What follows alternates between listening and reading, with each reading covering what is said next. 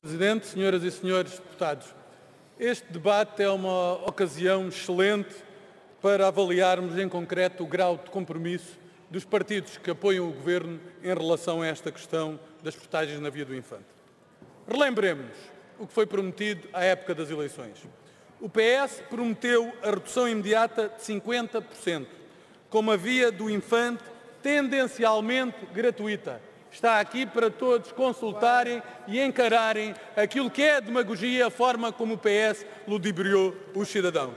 Inclusivamente, uma semana após as eleições, ainda não se avistava a solução política que deu corpo a esta maioria, José Apolinário e os restantes deputados do Partido Socialista de repente enviaram uma carta ao Presidente das Infraestruturas de Portugal a exigir, com caráter imediato, que as portagens baixassem.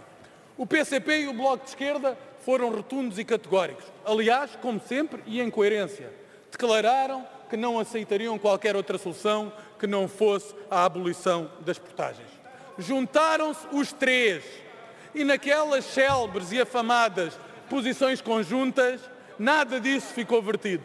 Nem a posição do PS, menos ainda a posição do PCP e do Bloco de Esquerda. Tal foi desde logo de estranhar porque essa era, segundo os proponentes, a questão maiúscula de maior envergadura e o estrangulamento mais severo que a região sofria. Ora, quando se tratou de fazer um arranjo sobre a matéria essencial de governação, essa questão, a mais importante, a mais decisiva, a essencial para a mobilidade dos algarvios, foi prontamente esquecida. Vieram mais tarde aprovar um projeto um projeto votado favoravelmente pelo PS, pelo Bloco de Esquerda e pelo PCP, cujo resultado foi a redução das portagens em 15%.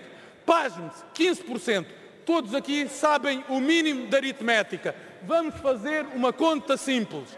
Temos a abolição do Bloco de Esquerda, mais a abolição do Partido Comunista Português, mais os 50% da redução do Partido Socialista e o resultado bizarro, aritmeticamente, é 15% de redução. 15% de redução. Mas fizeram pior do que isso.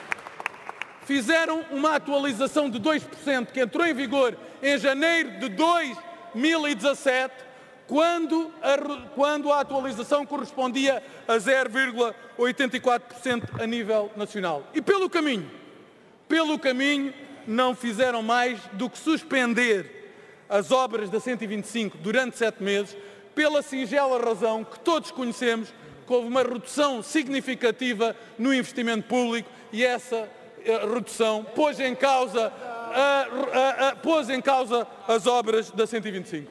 Ora, o Partido Socialista ganhou vergonha. Ganhou vergonha e embaraço e, como tal, não apresenta hoje aqui nenhuma proposta.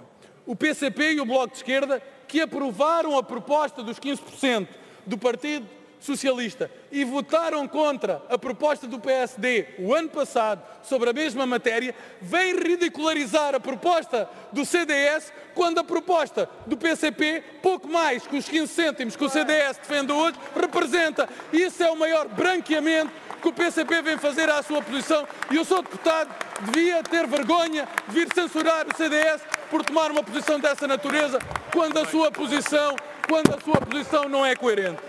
E, portanto, acordaram com o PS, não a posição do PS, não a vossa posição. Menos do que isso, entre os três não cumpriram nem a posição deles, nem a vossa. E nisso fracassaram perante os algarvios.